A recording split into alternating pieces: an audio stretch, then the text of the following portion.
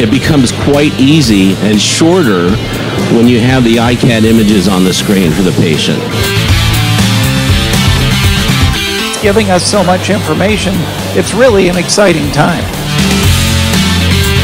The power for me is under one software program.